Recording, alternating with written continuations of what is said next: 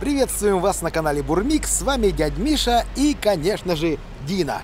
Мы находимся в аэропорту Елизово, а значит мы летим в отпуск. Сегодня 14 июля 2024 года. Куда мы летим-то? У нас э, целое турне получится в этот раз, и пункт назначения номер один – это э, славный город Казань. Не будем раскрывать всех секретов, потому что в этот раз мы покажем вам те места, где прежде не бывали. А Тем самым, я надеюсь, заинтересовать вас э, и продолжить смотреть наши выпуски. Тем более мы точно знаем, что нас уже некоторые ждут и прям подталкивают, давайте, давайте, быстрее снимайте. А сейчас мы идем на регистрацию, а встретимся уже в Казани.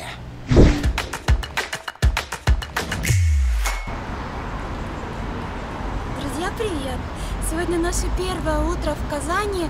Ясное, солнечное, жаркое. Уже сейчас 24 градуса, а днем обещает быть еще больше, 29. Тем не менее, мы полны сил, энергии и готовы вам рассказать, как мы до сюда добрались. Кстати, друзья, мы проснулись сегодня в 5 часов, а сейчас уже сколько? 9. 9 утра, и мы находимся где? Сквер филармонии, а, скажем так, центровым местом которого является вот этот памятник татарскому певцу Рашиду Вагапову. По-моему, ничего не забыла и все правильно сказала. Ну и, конечно же, нашим постоянным зрителям интересно, как вы доехали, почему сразу так с места в карьеры, сразу из парка, из какого, из сквера. Да, ведем свой разговор. А долетели, друзья, очень хорошо. Точнее, устали, конечно, как собаки. Ну, давайте по порядку. Во-первых, в Петропавловский нас быстро посадили. Летели мы хорошо, немножко бултыхало. Обед был прекрасным. Мы так славненько покушали. А вот когда прилетели в Москву, Да, пришлось немножко посидеть в самолете. К нам долго не подвозили трапы, долго не выпускали на улицу, не было автобуса. А мы немножко волновались от того, что у нас совсем небольшое стыковочное время было. Но тем не менее вышли, сели, приехали и в положенный срок уже сидели в самолете на Казань. Нет, ну ты э, поспешила прям. Да? Да. Ладно. Мы успели даже прогуляться немножко по аэропорту Шереметьево. В принципе, ничего не изменилось. Те же самые конские цены, куча народу. Единственное, что появились бесплатные фонтанчики с питьевой водой. Я считаю, это хорошо. А потом мы загрузились в самолет, который летит на Казань. И буквально за час 10 минут добрались до Казани. Между Петропавловской и Москвой не удалось поспать. А между Москвой и Казанью вообще. Ну что там, Да. час, час 10, какой там спать? Ну, вообще сложности мы в дороге провели больше 12 часов. Конечно, нас это очень сильно вымотало. Но, тем не менее, Миша вечером по приезду... Подожди, опять ты забегаешь Да, вперед. ладно, В. Казани-то нам опять пришлось сидеть. Ну да. Почему-то опять 20 минут э, не выпускали из самолета, потом все как-то медленно. Но опять-таки нам повезло, потому что наши чемоданы были в, в числе пяти первых. Мы их быстренько взяли, и к нашей радости нас встречала доча. А уже стемнело. И плюс нас встречала хозяйка квартиры, которую мы снимаем. Лариса, эта хозяйка квартиры, предложила нам трансфер всего за 500 рублей. Ну это здорово. Ты выходишь с самолета, тебя уже встретили и не задорого отвезли на квартиру, заодно тебе все рассказали по дороге. Ну да, это адекватная цена для Казани. По поездке от аэропорта в город. Так что нас прекрасно, легко и красиво доставили до места нашего проживания по ночной Казани. Ну а теперь немножко о квартире. Мы живем в самом обычном спальном районе города. Это не какая-то парадная Казань, поэтому видим все ее недостатки, увы и ах. Дом наш очень старый. А, ну, как бы здесь э, беда всех старых домов – это наличие насекомых. Поэтому они соседствуют с нами в одной квартире.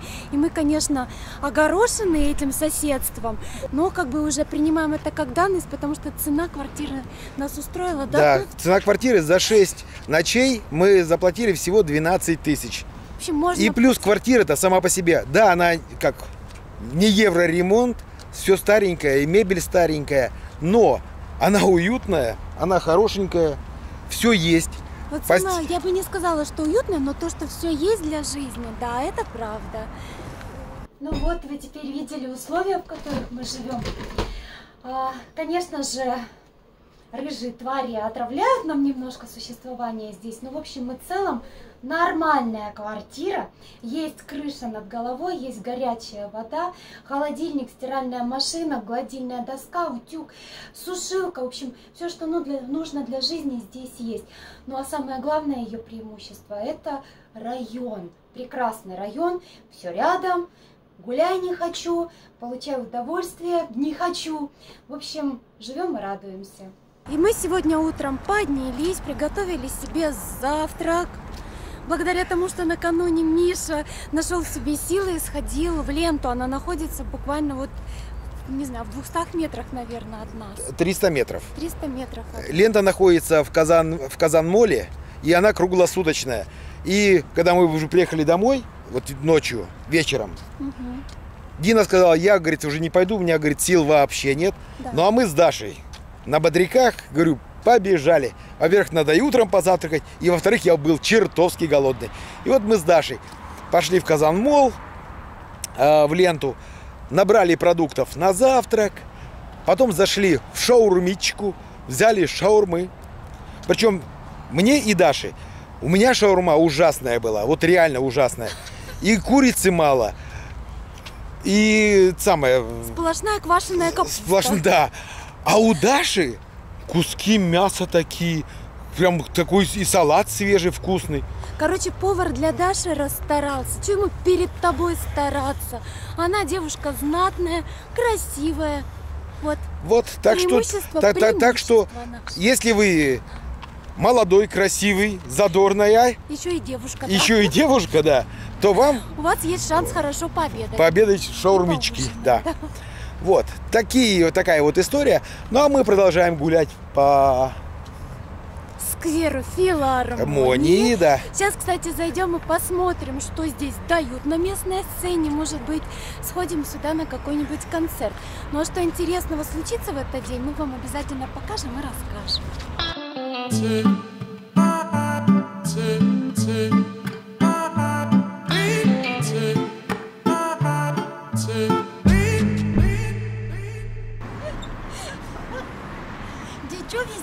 Качели найдет? А что это за район, кстати? Да. Вот это улица Спартакская, вот это вот. А мы живем на... Да. В общем, очень сложное для запоминания название. Мы вам лучше покажем. Улица Айрата Хайрулина, дом 5, корпус 2. А вот сюда поворачиваемся, а тут уже Казань, мол. А это Дина. Ну и как вам не показать плоский дом? Он находится как раз напротив Казан-Мола, центрального входа. Вот за что можно любить отпуск? Его можно любить только за то, что у тебя появляется возможность пробовать что-то необычное, что-то новое. И вот сегодня у меня тарим. О, такая красота на тарелке. Это десерт. Мы зашли в кафе Миловито оно называется. И вот это здесь, вот я просто взглянув на него, поняла, что я хочу знать, что это такое. Сейчас попробую, а потом вам расскажу, насколько это вкусно или нет. Но такое тоже исключать нельзя. Жалко такую красоту портить. Видели, да? Тут еще вон серединка есть.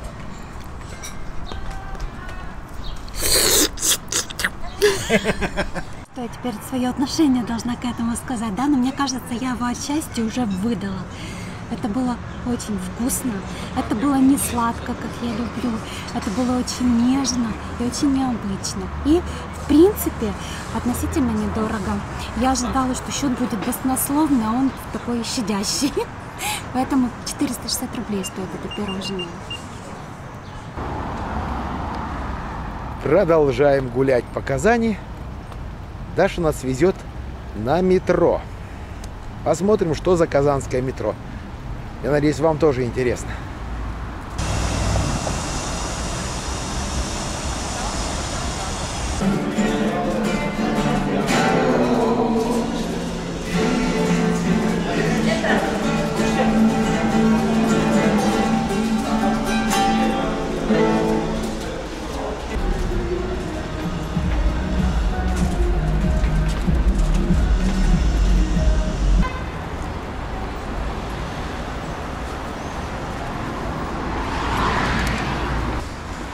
Конная слобода.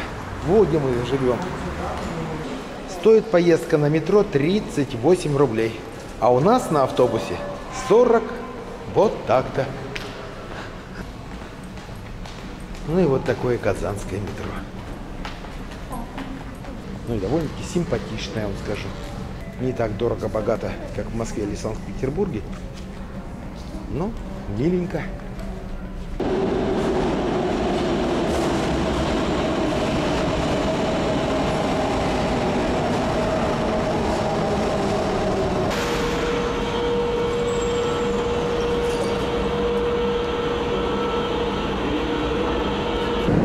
Приехали мы на площадь Габдулла Тукая. И теперь идем, куда мы идем? Мы сейчас идем в кафешечку, в нашу любимую Марусовку. Да, мы там уже были, и нам было вкусно. И вот я лично ехала сюда с намерением обязательно сходить в Марусовку. Вот, пойдем посмотрим, а, сохранились ли те блюда в меню, которые нам в прошлый раз очень приглянулись и понравились. Ну, в общем, А может попробуем что-нибудь новенькое? Расскажем в любом случае. А метро, как видите, прикольное. Мы вышли из метро у торгового центра «Кольцо». Путь до Марусовки был не близкий. Да в гору, да по жаре, но мы решительно шли к своей цели. В упор на ней. Вот так. Марусовка это очень популярное место, поэтому для того, чтобы сюда прийти э, стопроцентно попасть, э, нужно забронировать место заблаговременно. Мы этого не сделали, поэтому пришли, мест свободных нет, но как бы мы согласны подождать для того, чтобы все-таки осуществить э, сегодняшние наши планы. Поэтому не сейчас, но потом мы здесь отобедаем. Но сегодня это примерно через полтора часа будет. Да. Так что ждем. Ну вот, друзья, пока мы ждем нашей очереди, нашей брони, так сказать, мы решили прогуляться по Летскому саду. Смотрите, как забавно. Детская площадка. А здесь бабушка сидит и ждет внука.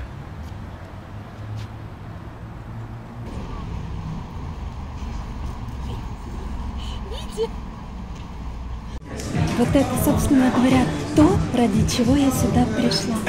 Салат с теплыми баклажанами.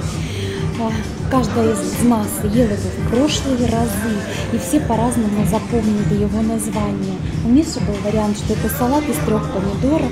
Ну, Даша правильно, ну, покуда она живет здесь а, и имела счастье бывать здесь, а, сказала название правильно, а для меня название вообще не имеет значения. Я помню, я полагаю, это так же вкусно, так же вкусно, как и в прошлый раз. Да, Всё, Нина, это так же. А у меня салат с вяленой уткой. Это там типа фирменный салат. Прям такой смотрится интересно. И там и авокадо. И попробуем давайте.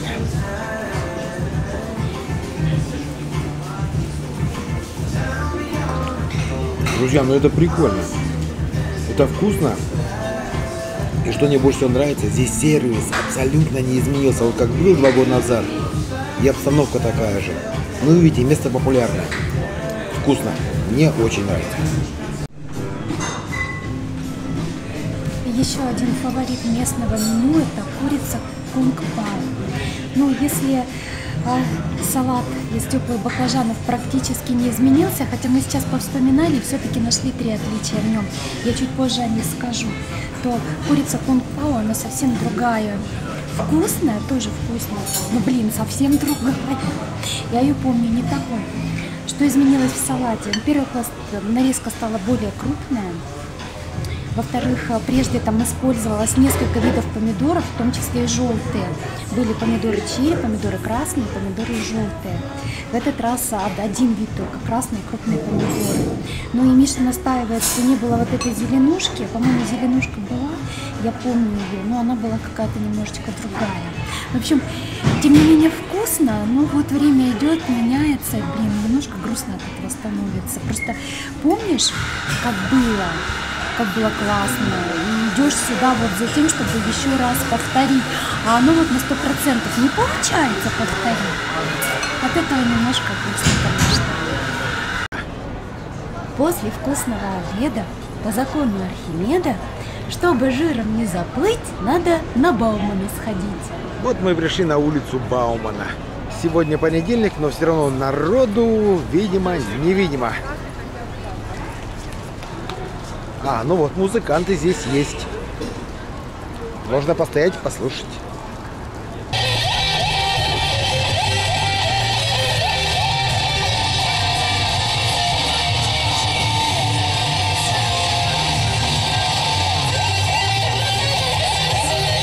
Если вы смотрели прошлый сезон наших путешествий, то тоже бывали на улице Баумана и знаете точно, что это одно из мест притяжения всех туристов.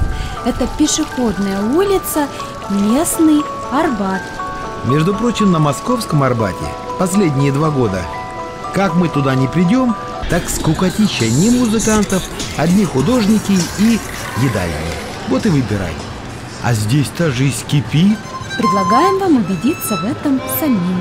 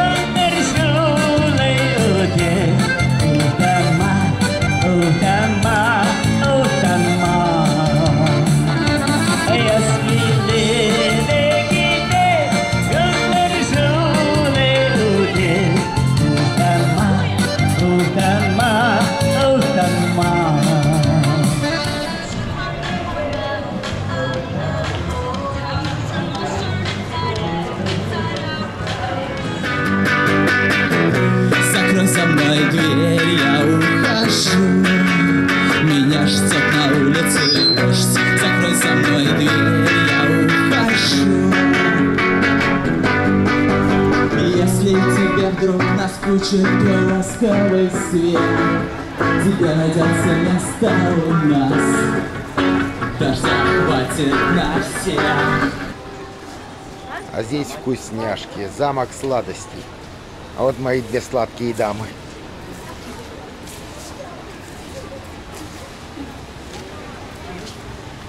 А вон старый наш знакомый казанский кот. Если будете в Казани, обязательно погладьте ему пузика. Как заманчиво. Друзья, как видите, на улице Баумана движуха полным ходом. Ну, в принципе, подробно я об этом рассказывал два года назад, и ничего не меняется, и это хорошо. Музыканты играют, художники рисуют, настроение прекрасное, много всяких разных лавочек, и это замечательно. Но мы сюда приехали не просто так, а именно по делу. Нам нужно купить гостинцы друзьям. Да, друзья, в первый день и сразу за гостинцами.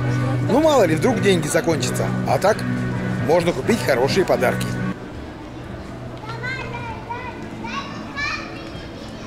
Покупаем мы гостинцы вот в этом магазине.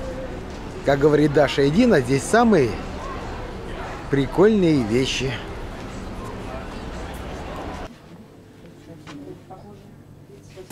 Я с гостинцами? Что купил? Конечно же не скажу, иначе не будет сюрприза. Вот и заканчивается наша прогулка по Баумана. Мы выходим к Кремлю. Там есть смотровая, можно туда посмотреть на вечерний закат, например. Но мы уже поедем домой и встретимся с вами, скорее всего, завтра.